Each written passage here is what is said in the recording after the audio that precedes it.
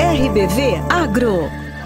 As notícias de agricultura, pecuária e a vida no meio rural. RBV Agro. Olá, está começando mais um RBV Agro, nosso conteúdo semanal que traz assuntos importantes ao homem do campo e reportagens curiosas que interessam também a quem mora na cidade. Oi, gente, tudo bem com vocês? Aqui tá tudo certo. Sejam bem-vindos ao programa mais querido do meio oeste catarinense, com transmissão no rádio e nas plataformas digitais. Estamos no ar pelas emissoras da RBV Rádios, a Rádio Videira e Vitória em Videira, Rádio Caçanjurê em Caçador e Rádio Tangará em Tangará. E pelo YouTube e Facebook do portal RBV. Nós falamos em nome da Cotan, a mão forte do agricultor. Vamos saber agora o que foi destaque durante a semana e também os assuntos do meio rural que nós preparamos, as novidades para esta edição do RBV Agro.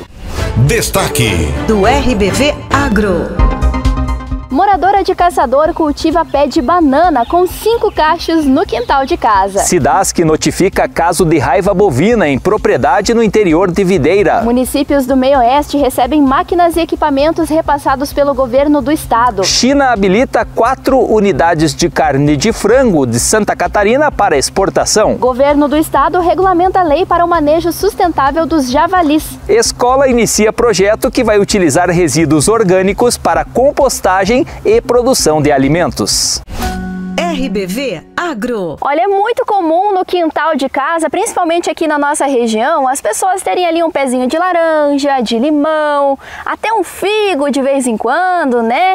Mas eu fiquei sabendo que você, Murilo, foi conhecer uma história diferente de alguém que tem bananeira em casa, é isso mesmo? Exatamente, é a história da Dona Maria e da filha dela, a Vera, que são moradoras de Caçador e tem no quintal de casa uma bananeira, Angélica, que está produzindo cinco cachos de fruta somente nos últimos meses, agora no verão. Olha só. É algo incomum que nós fomos conferir essa história. A reportagem você confere agora.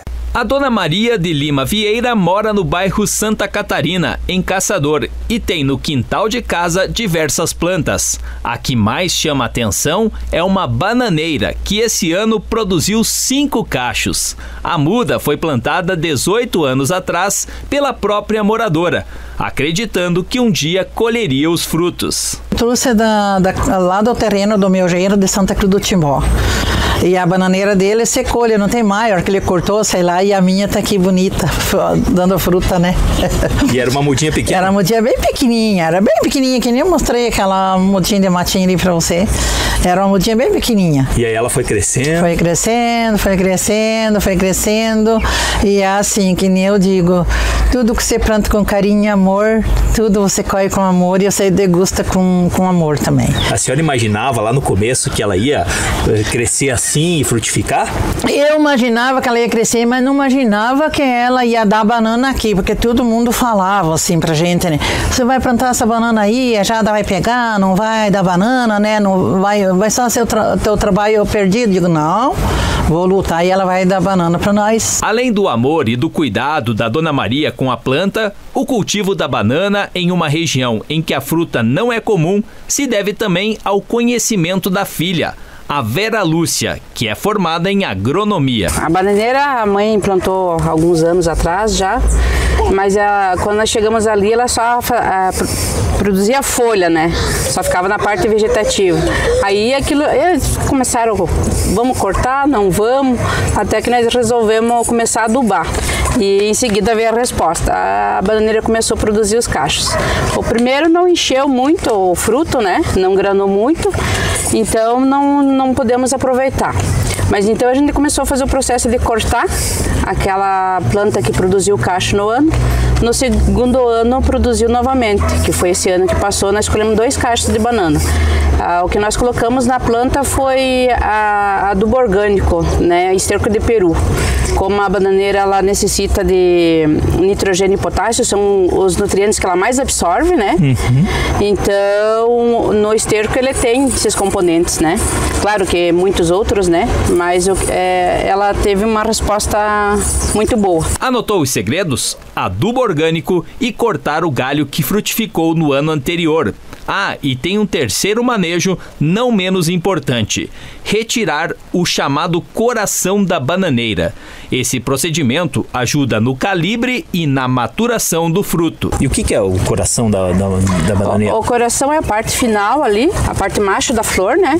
Que fica na ponta do cacho. Aquele ali é o coração do, da bananeira. Tem que tirar também depois que dá o de, cacho. Depois que ele forma todo o cacho, você, você corta fora. Que daí ele acelera a maturação e inclusive eh, ele faz o processo dele, né, que é importantíssimo na hora da, da formação do cacho, mas chega um determinado tempo que tu precisa retirá-lo, que ele é uma porta de entrada para fungos, é, trips e tudo mais, né? Com o manejo correto e um clima favorável, a produção esse ano foi de cinco cachos e surpreendeu a família, não é mesmo, Dona Maria? Fiquei faceira, comecei a ficar faceira, digo, ai, o pé de banana tá, tá dando cacho, digo, ai, que coisa mais linda, minha família também viu, mãe, como é que pode, viu? Ah, o trabalho do senhor valeu a pena, digo, viu? Vocês acharam que não valia a pena, mas valeu a pena? então, é, degustando. E é, que, que espécie que é essa? Que banana que é? Olha, eu não perguntei a meu genro que espécie que é, mas eu não, não, pelo que eu conhecia a banana, ela deve descer aquela banana maçã, aquela naniquinha maçã, sabe? Uhum. Que o gostinho dela ela, ela é docinha e azedinha. Como é que você se sente ao ver a sua mãe, seu pai, a família toda curtindo essa, essa fruta diferente que tem aqui no quintal? Ah, eu me sinto muito feliz porque a mãe gosta, você percebeu que ela gosta muito de plantas. Então ela trouxe para o hobby, trouxe a, a planta para o quintal e a gente está conseguindo produzir a nossa banana orgânica, né? Legal, e aí é pro consumo da família. Com certeza. Quem é que comeu todas as bananas aí? Mas olha, foi eu, meu velho, a Piazadinha e a Vera e o, e o Sérgio. É saborosa? É, é saborosa. Não perdimos uma, não deixemos estragar uma. Que bom, dona Maria, que a bananeira do seu quintal continue produzindo. E quando o próximo cacho ficar maduro, a gente volta para experimentar. RBV Agro. Um abraço para Dona Maria, para Vera, pessoas muito simpáticas que receberam bem a nossa reportagem. A gente agradece por compartilhar essa história com toda a grande audiência do RBV Agro. É isso aí. E a partir dessa reportagem, vamos colocar um desafio para quem acompanha o RBV Agro? Bora lá, Angélica. Então, é o seguinte, você que assim como a Dona Maria tem aí um pé de fruta diferenciado na sua casa, uma plantação diferente, manda pra gente aqui no WhatsApp do RBV Agro que nós queremos fazer uma reportagem do seu quintal. É, tem que ser diferente, inusitada, não vale o tradicional como figo, uva, uva, maçã, isso é muito comum aqui na região. Tem que ser um pé de mamão, quem sabe, ariticum é uma fruta diferente, o que mais? Melão, melancia. É, um abacaxi, pitaia, isso. qualquer coisa assim que seja diferente da nossa região tá valendo para esse desafio. Isso, ou aquelas frutas mais do mato também, que tem muito pouco e que você tem aí na sua propriedade, no quintal de casa ou na propriedade rural, manda um WhatsApp pra gente que a gente vai marcar para fazer uma reportagem. E para participar, Murilo, qual é o WhatsApp que eu tenho que mandar mandar essa foto, esse vídeo do meu quintal? Código de área 49, o número 99129 4258. É isso aí, tá proposto o desafio, então esperamos a sua participação.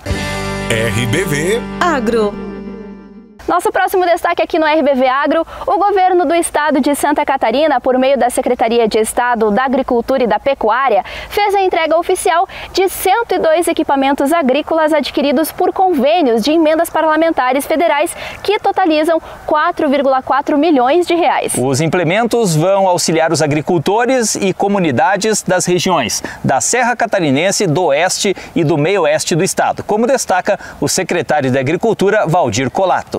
Então, estamos no roteiro, começado por é, São Joaquim, Campos Novos e Chapecó, para entregar 102 equipamentos, 4,4 milhões de emendas parlamentares. Foram emendas feitas em 2022 e nós estamos entregando agora, então, é, depois de uma tramitação na Secretaria da Agricultura, chegando então às prefeituras. São equipamentos das mais diversas qualidades ou funcionalidade e que vão atender as prefeituras, se quiserem fazer um trabalho com esses equipamentos ou passar para a sociedade associações de agricultores. Isso vem trazer aí o apoio da Secretaria da Agricultura, do governo, dos deputados federais e esperamos que mais recursos venham esse ano nas emendas parlamentares e outros recursos estão sendo licitados em torno de 5 milhões de reais. À medida que chegam os recursos, a Secretaria da Agricultura faz é, o agendamento, faz a compra e depois entrega nas regiões. Antes era levado tudo para Florianópolis, depois redistribuído. Um custo muito alto para as prefeituras. Então nós estamos distribuindo para as regiões, os municípios dessas regiões estão recebendo em loco, onde fica é, mais fácil o transporte. É um trabalho é, bastante burocrático, mas que a Secretaria da Agricultura está fazendo em todo o estado com a agilidade possível.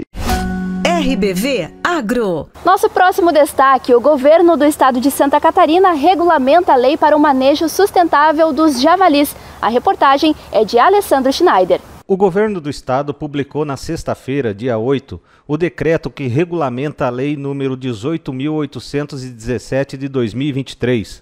Ela autoriza o controle populacional e o manejo sustentável do javali europeu, em todas as suas formas, linhagens, raças e diferentes graus de cruzamento no estado de Santa Catarina. O controle populacional e o manejo sustentável do javali europeu será permitido no estado desde que esteja de acordo com a lei, com o Decreto 501 e com os demais atos normativos específicos em vigor. O controle será realizado por meios físicos, ficando vedada a prática de quaisquer maus tratos aos animais. É imprescindível que o proprietário, arrendatário ou possuidor do imóvel conceda a autorização. O secretário de Estado da Agricultura e Pecuária, Valdir Colato, destaca avanços na regulamentação para manter o controle e o manejo sustentável. Todo o Estado sabe da importância de nós controlar essa praga que é o javali, que traz tantos danos à nossa agricultura, ao nosso meio ambiente, na economia, na questão de sanidade. Então, nós estamos agora regulamentando, através do decreto 501 do governador, eh, a lei 18.817, que autoriza o controle populacional o manejo sustentável do javali. Nas formas, nas linhagens, nas raças, diferentes graus de cruzamento do estado de Santa Catarina. Esse foi um trabalho todo costurado é, para que a gente tivesse uma lei estadual, já que o governo federal mudou a legislação, mudou o programa na questão do IBAMA, as Forças Armadas é, autorizarem as armas para os controladores e ficamos assim numa situação bastante vulnerável aqui em Santa Catarina. Então, que é, o governo do estado decidiu buscar é, junto à Assembleia uma lei e agora estamos regulamentando através do decreto onde autoriza é, os nossos agricultores fazer o controle né, com qualquer meio né, físico para controlar esses animais e então estamos envolvendo aí o produtor é, que tem que ter a licença, mas ele tem também compromisso de controlar essa praga para que não vá para outra região. Também é, temos o controle em áreas de reserva, né, reserva florestal, oficial e, e todos nós temos então esse compromisso. Esperamos que com isso nós possamos fazer um trabalho de Santa Catarina, eh, levando aí uma legislação concorrente, quando a União não atua, o Estado pode atuar, assim nós fizemos no Código Florestal e agora é, com certeza na questão do, do, controle do javali. A diretora de Biodiversidade e Florestas do IMA, Sabrina Nunes Maestre, explica que por ser uma espécie invasora, isso pode gerar impactos negativos de ordem econômica e social. As invasões biológicas são atualmente reconhecidas como uma das cinco maiores causas de perda da diversidade biológica. É, lembrando que o javali é uma espécie invasora, ele tem ampla distribuição no território nacional e também né, no estado de Santa Catarina e pode gerar impactos negativos de ordem econômica e de ordem social. Então, é, a lei significa um passo importante para que possamos prevenir novas introduções é, e conter a expansão expansão territorial e demográfica desta espécie, especialmente né, nas áreas prioritárias aqui no estado de Santa Catarina. Os órgãos e entidades administrativos estaduais das áreas agropecuária e ambiental, no prazo de 60 dias contados da data da publicação do decreto, expedirão normas complementares e adotarão as medidas administrativas necessárias à execução deste regulamento. Os ataques desses animais causam prejuízos maior aos pequenos produtores, com propriedades de até 50 hectares. Para eles, um único ataque pode representar a perda de toda a produção do ano. Os javalis também configuram um risco ambiental, porque se alimentam de espécies nativas da flora catarinense, como plantas de araucária e imbuia, ambas ameaçadas de extinção, e também atacam animais. A estimativa é de que existam de 1 a 2 javalis por quilômetro quadrado e uma população total de cerca de 200 mil animais em Santa Catarina.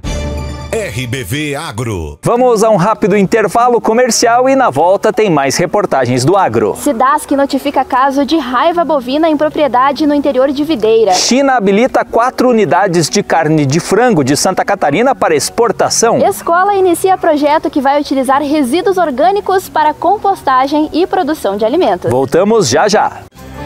RBV Agro. As notícias de agricultura, pecuária e a vida no meio rural. RBV Agro. A Cotan é concessionária Agrale há 15 anos no meio oeste de Santa Catarina. Possuímos a linha de tratores de 15 a 105 CV. Na Cotan você encontra as melhores marcas de implementos agrícolas da pronta entrega. Dentre elas, JF, Ipacol, Kuhn, Triton, Baldan, Indutar, Vence Tudo, MacRu, Farnesena, Finardi, entre outras. Atendendo todas as operações do campo, do preparo do sol à colheita, do pequeno ao grande produtor. Venha até nossa unidade ou solicite a visita de um dos nossos consultores. RBV Agro. As notícias de agricultura, pecuária e a vida no meio rural. RBV Agro. Estamos de volta e vamos falar agora sobre a produção de proteína animal, uma das potencialidades do agronegócio catarinense. A China habilitou quatro unidades de carne de frango de Santa Catarina para exportação. Reportagem de Douglas Alves. O gigante mercado chinês está interessado em comprar mais carne de frango do Brasil. Por isso, o governo do país asiático, em conjunto com o Ministério da Agricultura Pecuária do Brasil, MAPA, anunciou a habilitação de oito frigoríficos e quatro entrepostos de carne de aves da região sul para exportações. Esses são dois frigoríficos e dois entrepostos de Santa Catarina. Esta foi uma das notícias de destaque envolvendo o setor exportador de proteína animal nesta terça-feira. O MAPA anunciou anunciou ainda uma leva de 38 habilitações para a China, que inclui também 24 frigoríficos de carne bovina, um entreposto e uma unidade processadora. Além disso, no fim da tarde, o Ministério anunciou também, de acordo com a pré-listing, com as Filipinas para carnes de aves, suínos e também bovino. Em Santa Catarina, receberam autorização para exportar frango ao mercado chinês os frigoríficos Aurora Coop em Guatambu e Chapecó. Os entrepostos autorizados foram os de Seara, de Itajaí e também Aurora Coop em Itajaí, informou a Associação Brasileira de Proteína Animal. Além das unidades de frango, a China habilitou também para exportação carne bovina 24 frigoríficos um estabelecimento de termoprocessamento e também um entreposto. Segundo o mapa, essas 38 habilitações somam um maior número de unidades já autorizado para exportação de carne do país em um único dia.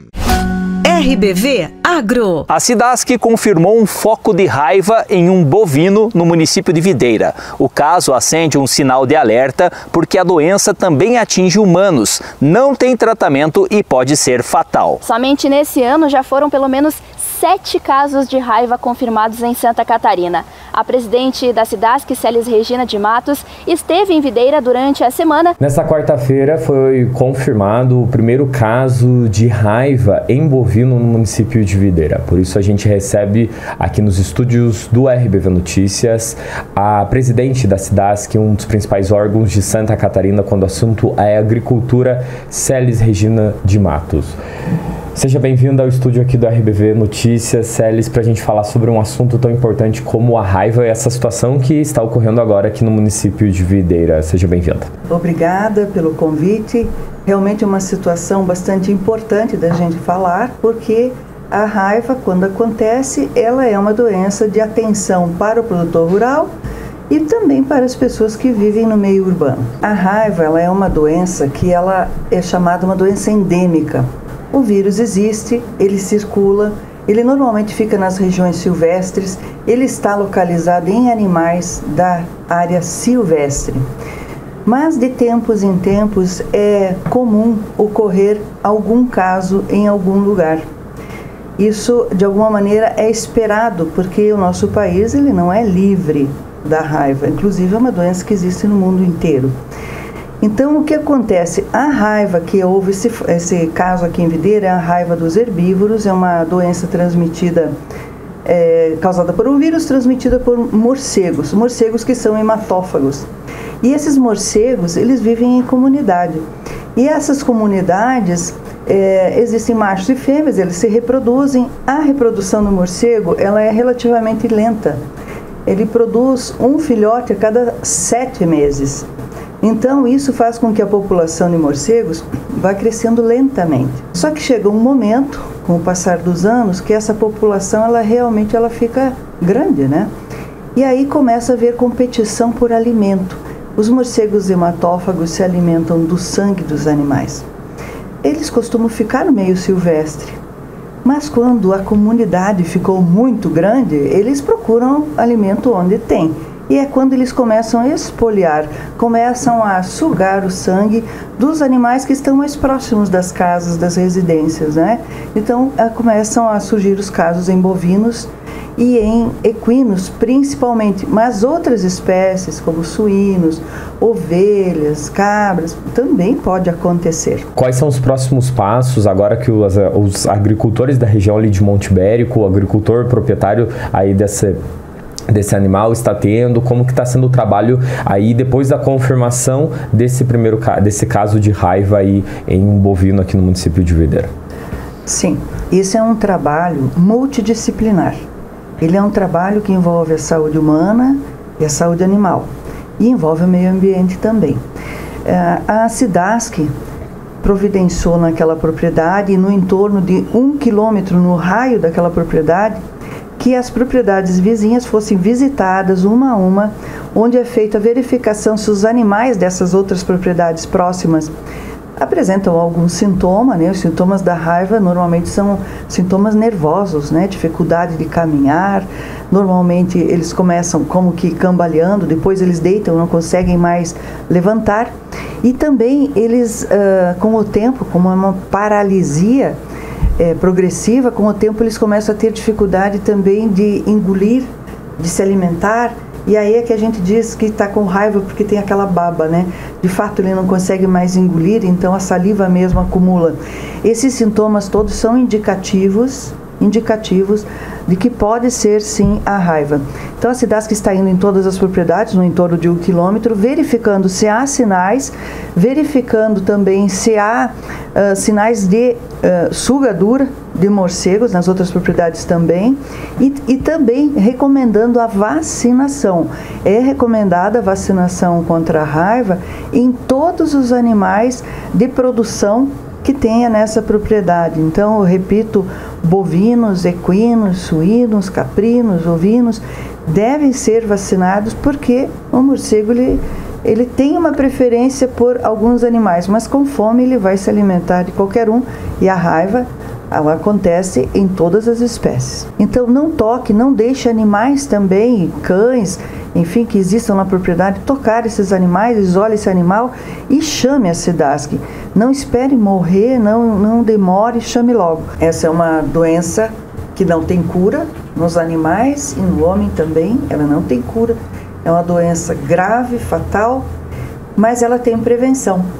Então, não é o caso de, de a gente ficar é, apavorado com o foco que teve.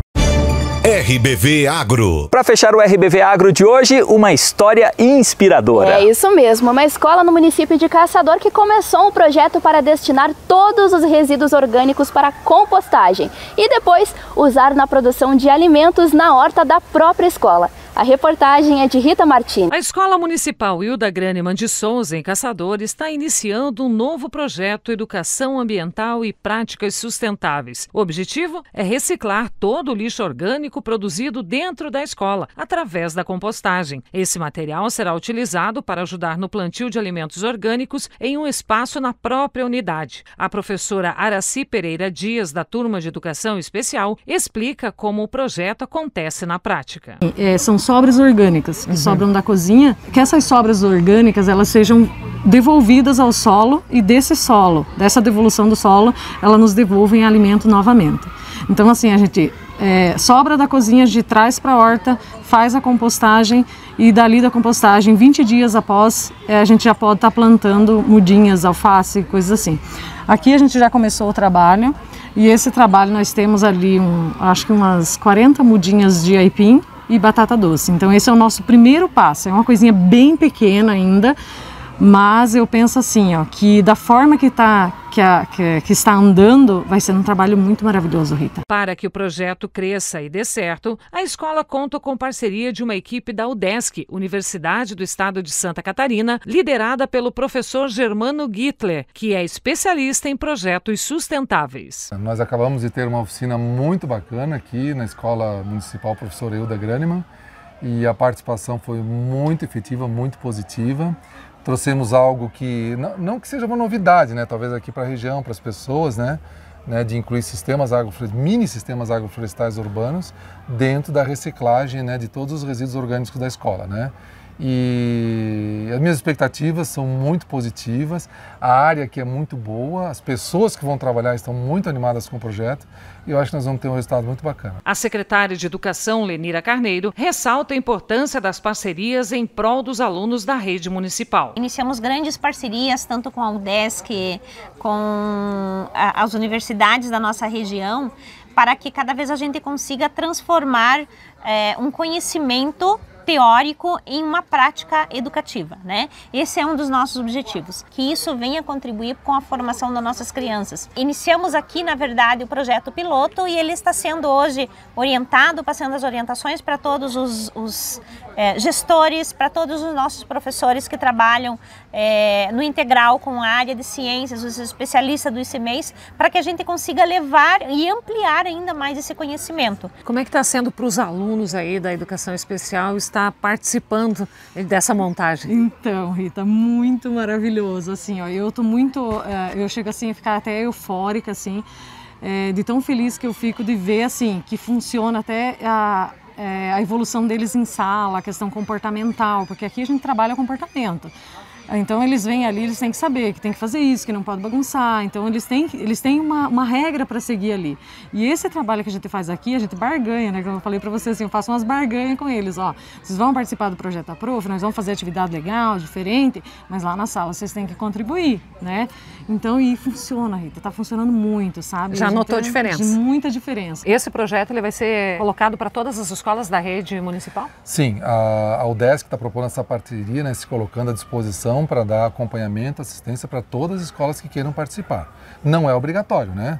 Mas a gente a ideia é assim, até flexibilizar um pouco, né, Rita? Se, se uma escola não tem assim mão de obra, gente para fazer, que a gente faça um cantinho bem pequenininho, nem que a gente pegue os resíduos só uma vez por semana, coloque ali, para ter um local para a gente dar aula para as crianças, né? Porque o objetivo é que essa, que vamos dizer que essa mudança de hábito, né, nesse conceito de não geração de lixo orgânico, né, que a prefeitura não recolha mais o lixo orgânico nas instituições, nas empresas, nas casas, né, nas famílias, é que isso seja levado da escola para a, as famílias. Né? Quando a gente leva esse conhecimento do início da vida da criança, quando a criança bem pequena ainda inicia todo esse conhecimento, todo esse processo, com certeza ele será uma, uma, um adulto, um adolescente que ele vai saber fazer, dar o destino certo ao seu lixo. E além de, o principal disso, ele dar o destino certo para o seu lixo, ele produzir um alimento de qualidade para a sua família. O projeto de compostagem não apenas contribui para a redução dos resíduos orgânicos enviados para aterros sanitários, mas também promove a conscientização ambiental e o engajamento da comunidade em práticas sustentáveis. Um verdadeiro exemplo de como a educação pode transformar o meio ambiente e as pessoas. RBV Agro Olha só que bacana essa iniciativa, muito bacana mesmo saber que esse projeto está em andamento e pode ser até utilizado aí como nas outras escolas, né? É, serve de inspiração. Parabéns a toda a equipe da Escola Hilda Graneman de Souza, ao pessoal da UDESC que está junto, à Secretaria Municipal de Educação de Caçador e que realmente, como a Angélica falou, esse projeto possa ser replicado em outras escolas. Assim nós vamos finalizar essa edição do Agro. Até semana que vem, pessoal. Tchau, tchau. Tchau. RBV Agro. As notícias de agricultura, pecuária e a vida no meio rural. RBV Agro.